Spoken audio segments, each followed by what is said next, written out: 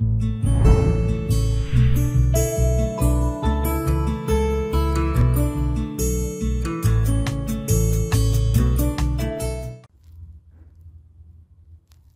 bay chở bà Pelosi đã hạ cánh xuống Đài Loan, Trung Quốc lên tiếng. Chiếc máy bay Boeing C-40C mang số hiệu SBAR-19 được cho là chở Chủ tịch Hạ viện Mỹ Nancy Pelosi vừa đáp xuống Đài Bắc, Đài Loan. Máy bay này được theo dõi nhiều nhất trên thế giới mấy giờ qua.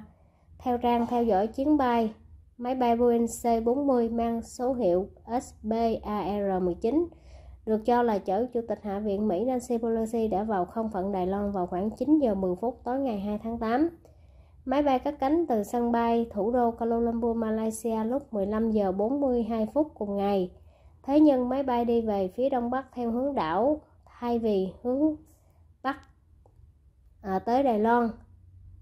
Theo trang theo dõi à, bay Flyradar 24 giờ máy bay SBAR-19 của không quân Mỹ để giảm độ cao từ 10 km xuống dần sau khi tiến vào không phận Đài Loan. Không lâu sau, khi vào không phận Đài Loan, máy bay được một số máy bay của lực lượng không quân Đài Loan hậu tống. Sau đó máy bay chở bà Pelosi đã hạ độ cao gần Đài Bắc.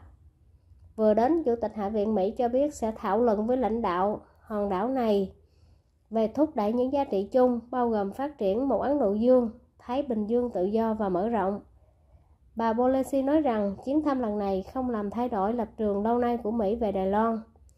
Bà Pelosi à, phát biểu rằng các cuộc thảo luận của chúng tôi với lãnh đạo Đài Loan sẽ tập trung vào tái khẳng định sự ủng hộ dành cho các đối tác của chúng tôi, thúc đẩy lợi ích chung, trong đó có tăng cường khu vực Ấn Độ, Thái Bình Dương tự do và mở rộng. Dự kiến bà Pelosi ở lại Đài Bắc qua đêm và gặp lãnh đạo Đài Loan Thái Anh Văn vào ngày 3 tháng 8.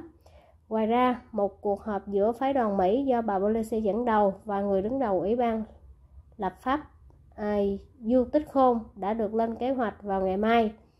Theo nhà lập pháp Đài Loan, ngay sau khi bà Pelosi xuất hiện tại Đài Loan, Bộ Ngoại giao Trung Quốc tuyên bố chuyến đi lần này là hành động khiêu khích chính trị nghiêm trọng và kiên quyết phản đối.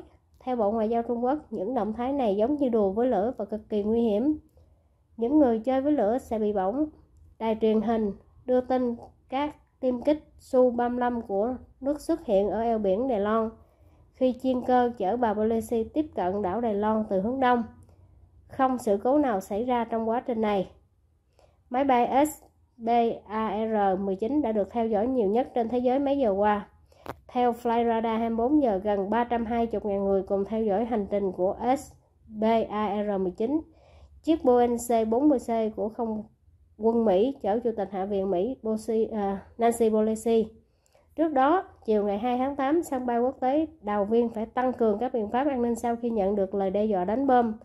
Một bức thư đã được gửi đến đe dọa đã được gửi đến cơ quan quản lý sân bay vào sáng cùng ngày để tuyên bố rằng ba quả bom đã được đặt trong khuôn viên của sân bay để ngăn cản chuyến thăm của bà Pelosi.